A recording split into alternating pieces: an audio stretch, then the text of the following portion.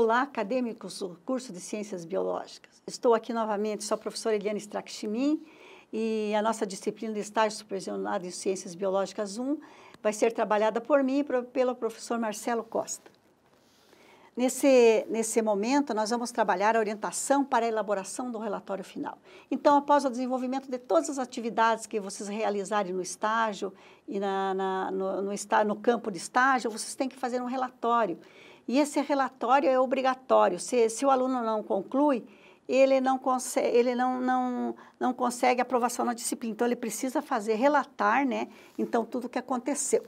Então, o objetivo de hoje é fornecer instruções sobre a elaboração do relatório final de estágio.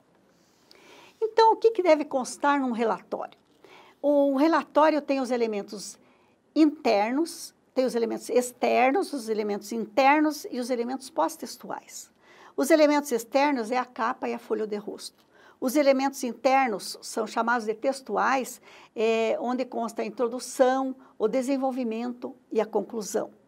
E os elementos pós-textuais são os anexos que nós colocamos é, nesse relatório. No caso, é, vocês vão, vão ter que, que anexar as, as fichas de frequência no estágio, vão ter que colocar todos os formulários destinados a cada fase do estágio, vão preencher e vão, além de relatar, vão colocar como anexo, todos eles assinados pelo professor da escola com o carimbo do colégio.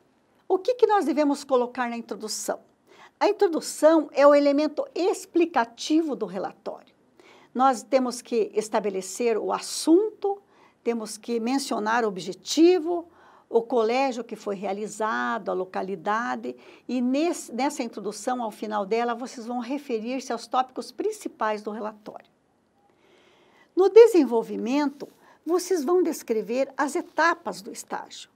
Cada fase, cada fase deve ser relatada. Então, nós temos lá a fase 1, que foi a primeira observação. Vocês vão relatar essa, essa observação e vão colocar no anexo da fase 1 todos os formulários destinados a essa fase, preenchidos, datados e sempre assinados, tá? E sempre é, não esquecendo o carimbo da escola, assinatura do professor também. Na fase 2, que é a fase de coparticipação, vocês vão relatar, tá? E vão colocar em anexo todos os formulários preenchidos da fase também, tá? Depois vem a fase 3, que é a fase da regência de classe, né? É a fase realmente da atuação. Vocês vão relatar como ela ocorreu, né? Qual foi a, a, a série que vocês fizeram, o estágio, né, a série turma, é, quem era o professor. Vão preencher gradativamente todos os relatórios durante a, a, o estágio e vão anexar esses, esses formulários ao final com um anexo, todos datados, assinados, com carimbo da escola também.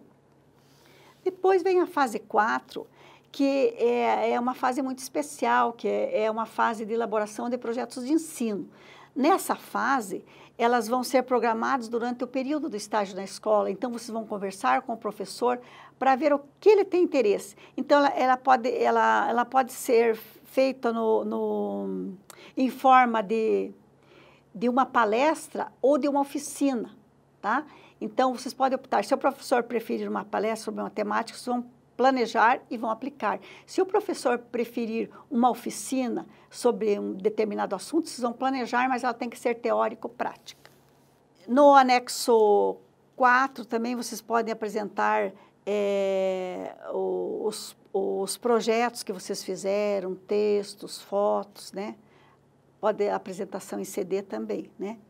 E na conclusão, são as principais, na conclusão são colocar o que vocês alcançaram né? Quais são as conclusões alcançadas durante o estágio? Qual foi o aprendizado de vocês? Quais foram os dados relevantes que vocês observaram no espaço escolar do, durante o desenvolvimento das diversas atividades? Quais foram importantes para vocês, para a formação acadêmica? Né?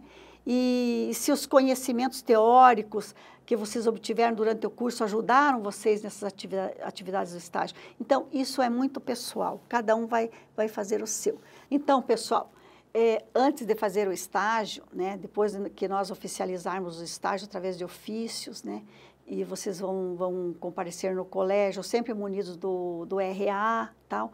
Vocês vão, vão é, vai, vai ser disponibilizado um termo de compromisso que vocês vão fazer o preenchimento dele e entregar na escola. E vão, vão pegar cópia para entregar para a nossa coordenação e uma cópia para vocês anexarem no relatório final. Esse termo de compromisso vai constar desses anexos aí também. Não esquecendo de assinar esse, datar esse relatório e assinar também, tá? A entrega do relatório é fundamental nos prazos estabelecidos é, pelos professores da disciplina e, e, espero que vocês tenham aproveitado. Eu queria mencionar também que nós vamos ter um, um material didático básico para vocês, que é nosso e-book, que vai, vai estar disponibilizado, que vai, vão, vão conter todas as orientações para vocês. Então, é, é isso. Qualquer dúvida, estaremos à disposição de vocês. Até mais.